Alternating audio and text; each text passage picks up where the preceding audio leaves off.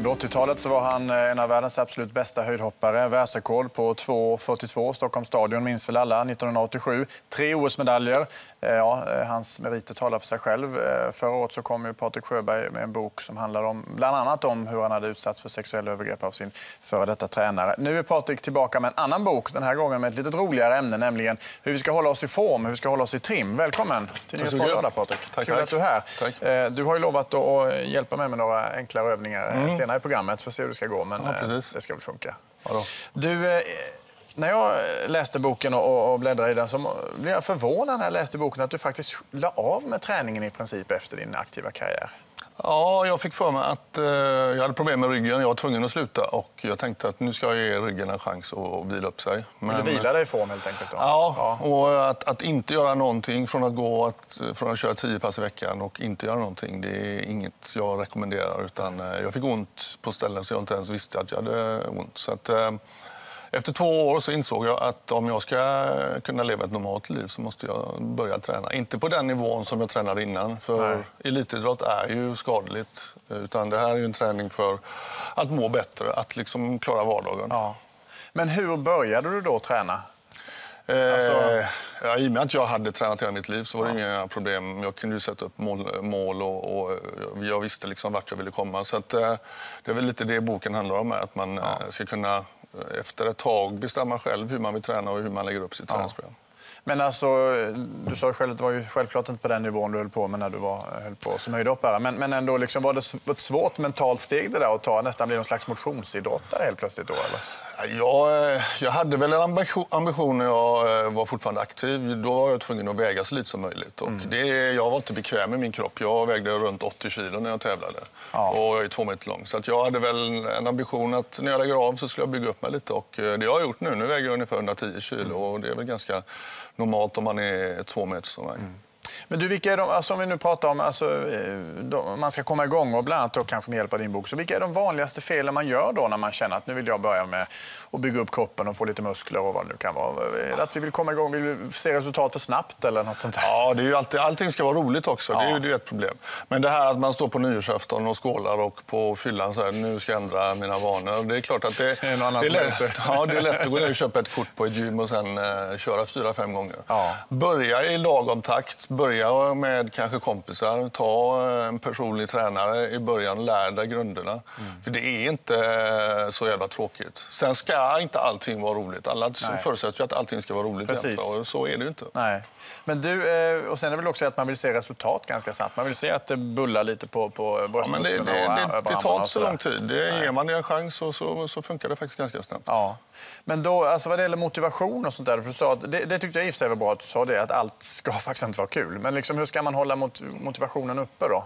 Jag själv personligen, jag har ju också svackor och jag har bestämt mig att även de här dagarna jag känner att jag inte har någon lust att göra någonting, då, då gör jag något för att Börjar man hoppa över då träningspass, då är det lätt att det går en vecka, sen går det två veckor, sen mm. går det tre veckor och då är man inne i det här igen. Liksom, att, ah, ja, lika bra att skita i det. Va? Så mm. att, eh, även när du inte känner för det, gör någonting. Gå ut på en promenad eller ja. gå ner gör lite armhävningar eller situps. Liksom. Gör någonting. Ja.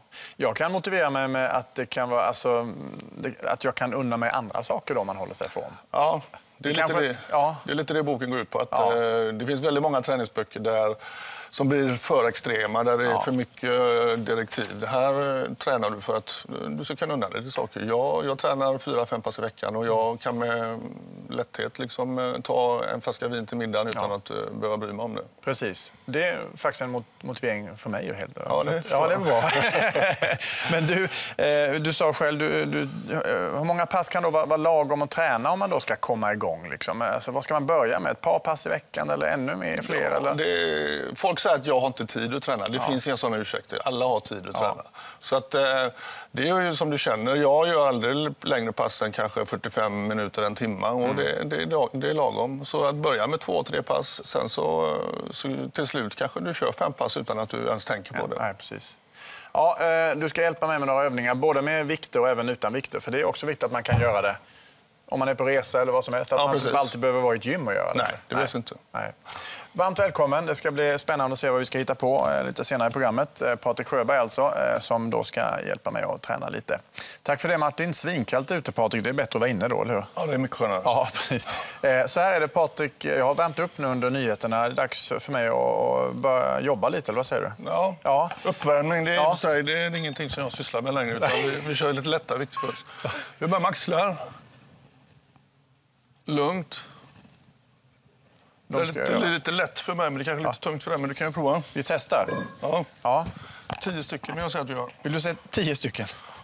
Då ska jag tala om att det här är alltså ja, det, vad är det? Det är 10 kilo per, per arm helt enkelt. Då. Ja. Och det var bara rakt upp så här. Så. Ja, eller sträcka ut ordentligt. Två, två, tre, fyra, fem, Snygg sex, sju, åtta, nio, tio. Vi kör tolv då. Elva. Sträck ut ordentligt. Så. Jag sträckte inte ut ordentligt kanske. Nej. Sen, eh, vi hoppar lite. Vi, Ja. vi vänder bänken för att, eh. Ja. för att köra lite rygg. Ja. Och då gör vi lättare så här. Och det är lagom att göra tio sådana. Ska, man- räcker det med en gång? Eller ska man Ja, liksom... man kör väl tre serier egentligen då, Ja. tre gånger tio. Ja. Och det här, eh, Det hinner vi inte här kan jag säga. Det ska... ja, det är tur för dig kanske. Vi ser ifall du når här. Ja. Sådär ja. Ja, tio där också eller? Jag får nog ge dig vikten annars så når du Ja, inte. nej. Precis. Och vad, vad, hjälp, eh, vad, vad hjälper de här övningarna? Det tar en tar på ryggen lats på sidan här. Okej.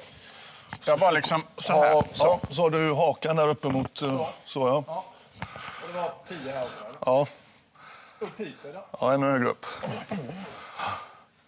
Det var två, tre, fyra, fem, sex, sju, åtta, nio, tio. Vi kör några till, va? 11, 12, 13, fj- 14, 15. Jag kör 20 bara för att du sa 15 då. Dra en där upp. Så. Vad skönt va? Ja, det var skönt. Då går man egentligen på nästa övning nu men eh, jag ser att du är lite trött så att... Eh, Alltså, ha dig som personlig tränare, det hade nog gett resultat. ja. Men det är för lite för lätta vikter va? Så att, Är det för eh, lätta vikter? Vad kör, vad kör du då?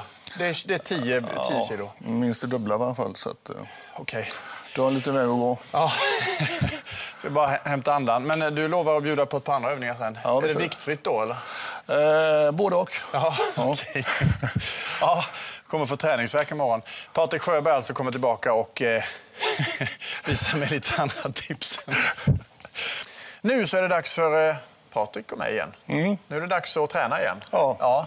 Det känns lite grann i armarna, men, eh, men eh, det, bli lilla? bra. Nej då, jag skojar. Men det, det, Det gör du inte. Vad ska vi göra nu? Eh, jag tänkte köra lite rygg. Ja. Du som är så vältränad. vi, eh, vi börjar med lite marklyft. Ja. Ehm, Och det är väl rätt mycket teknik det där? Va? Ja, det här ska man inte göra för man inte är så vältränad som du är. Då. Nej, precis. Att, vi kör med, faktiskt inte med böjda ben. Nej. Och du går ner och drar upp den hit. Den tar både på lårens baksida, häcken och korsryggen. Okej. Och, ehm, ja, du kan ju prova. Snygg rumpa, då ska man göra det här alltså. Ja, tittar du på min eller? ja, det är klart. Nej. Så här, det var ra- raka ben. Ja, Så. Och så gör jag så här. precis. Ja. Och så hur långt går jag ner? Ända ner. Ena väg. Hur många ska jag göra då? Så länge du kan prata så får du köra. då får vi hålla på länge. Okej. Nej, jag skämtar bara. Men det känns att det, det stramar, i, som du sa, i, i häcken och Ja, i försök baksidan. hålla då. benen rakt då, Ja. för du böjer dem nu. Okej, förlåt. jag pratar en massa skit. Det där kör man mellan eh, 3 gånger 12 ja. Sen kan man även köra då med lite tyngre vikt och ha böjda knän. Okej. Eh, och du, att du går ner lite mer så här. ja. Men är det bra då, eftersom det är mycket teknik i det, att man börjar så här? Ja, man ska ju inte börja med detta för man har problem med ryggen. Utan det här är någonting man kör när man Ja. eh, har kommit igång lite. Sådär ja.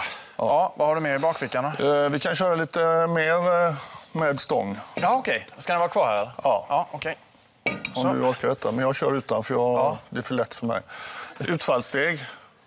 Du går ner så här och tillbaka. Ja. Och vad, Det tar hjäl- på lårens framsida och även på häcken också. Okej.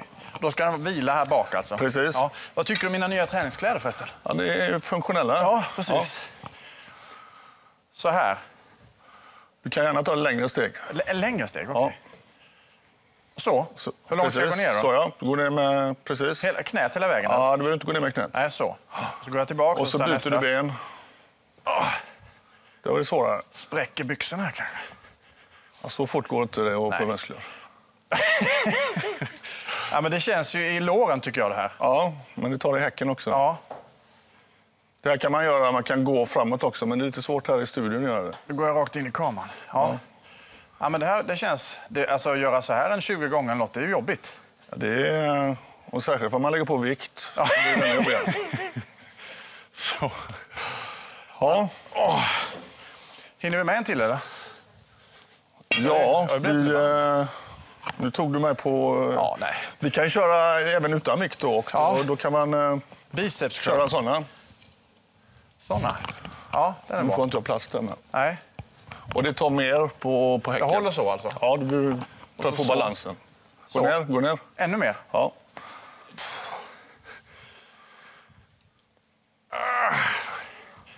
Skicka de här kläderna på kemtvätten sen. De ju svettas. Ja, det betalar fyran. ja, det får de fasiken göra. Oh, sådär ja, och det känner... Ja, och det ska ta här ute med för man gör det Ja. Ja. Men du, eh, det säger sig självt att man måste stretcha efteråt och sådär sen. Men om man inte gör det, Då, man- känns det lite värre, men eh, jag stretchas väldigt mycket i mitt liv. Jag kör väl eh, vartannat pass ganska mycket stretching. Ja. Men, eh, det är klart att om man inte kört de här övningarna på länge så ska man ju försöka stretcha ut. Ja. Men du, sist på, om man nu är sugen på att köra igång, om man inte är vältränad, hur många pass i veckan och hur länge varje pass? Börja med två pass i veckan och eh, ganska snabbt kommer du in i det. Och det, då märker du till slut att du kör kanske fem pass i veckan. Det, Mm. det går väldigt lätt. Men är en halvtimme för lång tid eller för kort tid? Eller? 45 minuter brukar jag säga. Ja. Och eh, lägg inte för mycket vikt på uppvärmningen. För att, eh, börja med lite lättare vikter istället. För att, eh, du tar död på motivationen om du sitter på en motionscykel i 20 minuter. Mm. Ja. Det, det är inget roligt. Och en del övningar är tråkiga, det är bara så. Man ska inte Ja. låtsas att det är kul. Det är inte, inte, roligt, inte roligt på jobbet varje dag. Nej, så att, precis. likadant med träning. Stort tack! Tack själv. Sköt om dig och tack för att du kom hit. Tack.